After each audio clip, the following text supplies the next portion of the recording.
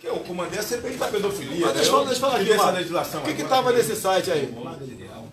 Se você, Magno, você que está nos ouvindo aí, é pesado que eu vou falar, não deixa a criança ouvir não.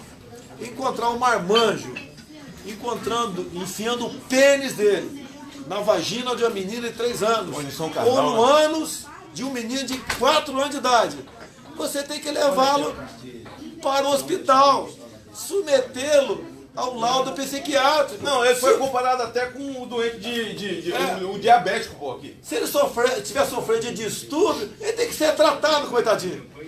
Ele tem que ser interditado. Tratado, interditado, mandado para o manicômio.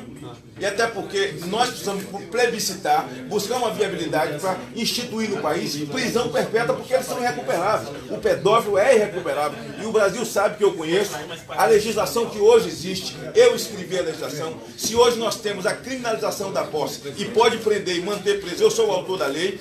Eu sou o autor da lei que tornou crime hediondo, o crime de pedofilia no Brasil. Então essa é uma matéria que a partir desse distúrbio que você falou lá no ar, a partir do kit gay e a partir da CPI da pedofilia, é que nós começamos a escrever um, um novo roteiro de proteção das crianças no Brasil. acontece. Esse laudo psiquiátrico, com todo respeito, tem os psiquiatras do Brasil.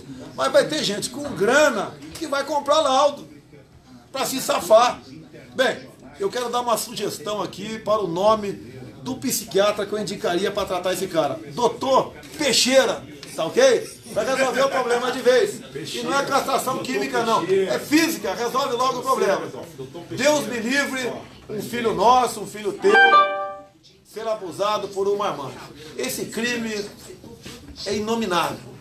Esse- por, por isso, quando acontece aí local mais pobre, né, que o pobre tem um centro de justiça muito maior do que quem está no asfalto, o pessoal acaba linchando. Não incentivando, não. né? Estou incentivando linchando. Mas geralmente ele é linchado. tá Presidente, certo? deixa eu te falar uma coisa. O Brasil está entre os três maiores abusadores do planeta e é o maior consumidor de pedofilia na internet. E a terceira causa morte do país hoje é suicídio de criança.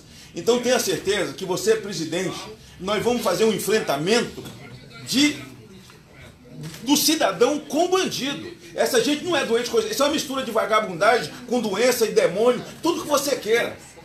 Uma coisa não pode acontecer. Teve uma matéria na Globo News aqui na Globo, tentando comparar eles com o diabético. Isso é brincadeira, o diabético é privado de tanta coisa por uma enfermidade no corpo, comparar com um criminoso.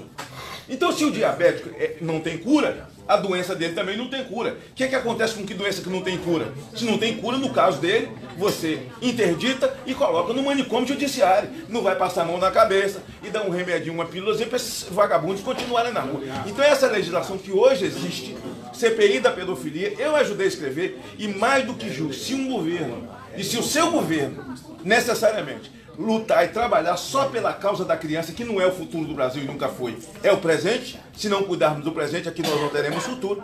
Então, magnífico, surpreendente, e o povo do Brasil querendo ver a cartilha de perto, querendo cópia da cartilha, vamos disponibilizar, porque como ela desapareceu, Isso né? é um dos livros, é um dos livros, tá certo? É, não tem cabimento você botar um livro desse na biblioteca. E olha só, e é do MEC, eles vão falar que é mentira. Sabe por que é verdade? O MEC, quando encomenda nas editoras milhões de reais de outro livro gastando, eles exigem isso aqui de brinde. Então são, quero 100 mil livros de brinde isso aqui. Eles fazem um pacotão e mandam para as bibliotecas da escola. Daí a molecada vai lá e tem acesso até aqui. A Mariazinha de 7 anos de idade, o Joãozinho de 8 anos vê isso aqui. É o fim da picada, realmente, né? Mas tinha a cartilha do Ministério da Saúde, Sim, você lembra? lembro. Que ensinava a fazer cartilha de crack, ou ensinava a fazer é, é, cachimbo de crack, ensinava a fazer o cachimbo de crack. Entrou a ligação de um amigo nosso, acho que dar É, amigo, né, amigo, amigo da onça aí, deve ser, né? É, ligou, porque nós estávamos indo bem, né? Estávamos indo bem. Para a gente continuar aqui, por causa dessa cartilha do Ministério da Saúde, aquela cartilha do Ministério da Saúde que ensinava a fazer cachimbo de crack e eles tinham aquela onda de redução de dano. Redução de dano era droga para drogado. Hoje a, a Holanda vive o seu arrependimento, a Suíça vive o seu arrependimento, porque fez verdadeiras praças de lixo humano com essa história de redução de danos. Então eles fizeram uma cartilha ensinando como é que põe o garrote no braço, como é que aplica, como é que faz o cachimbo de crack, como é que evita queimar os cílios. É, qual é o crack que é pior, qual que é o menos pior. Quer dizer, esse tipo de material é que está sendo produzido no governo do PT, desses esquerdopatas. A gente fala PT, fala dos puxadinhos também, que é PCdoB, é, é, PSOL, é, PSOL Rede, né, da Crente, Irmã Marina. Né? Então, é, é, a gente precisa tomar muito cuidado e esse cuidado do seu governo certamente será a prioridade, o cuidado das crianças.